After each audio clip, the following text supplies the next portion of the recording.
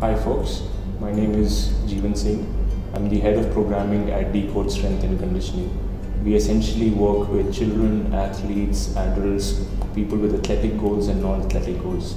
In my last 10 years of work experience, I've had a beautiful journey of looking at commercial fitness or commercial exercise and exercise science or sports science.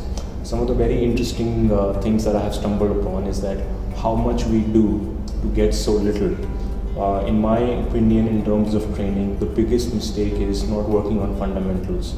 Now, fundamentals are the base to performance, they are the base to learning, they are the base to any improvement that you're looking at in your training. So, before you chase complex patterns, before you chase intensities, frequencies, volume, or any high variable in training, try and regress back to the basics. These are the basics which apply to athletes, these are the basics which apply to all kinds of human beings, sedentary, active, or athletes. Uh, one of the key uh, advantage of being fundamental in your training is it makes you injury proof. It almost guarantees performance and it definitely makes sure you have a bigger buck in your training. Uh, in terms of basics, what are we looking at? First is mobility. Forget about how strong or fast you are. If you are not mobile, trust me, sooner or later you will fall apart.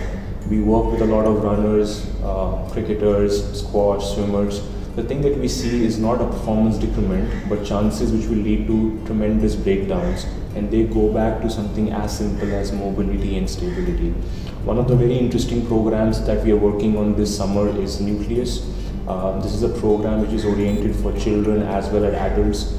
Uh, the thing that I love about this program is that it just works on four or five key principles. And the other advantage is it breaks those principles down to the smallest of alphabet.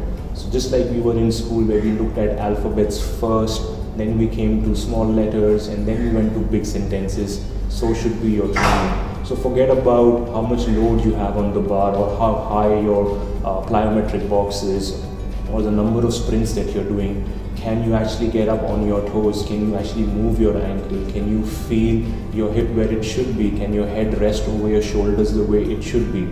If you can do that without any external load and if you can do that without any pain you're in a better position than having something very big in your training and be more prone to a bigger loss down the line.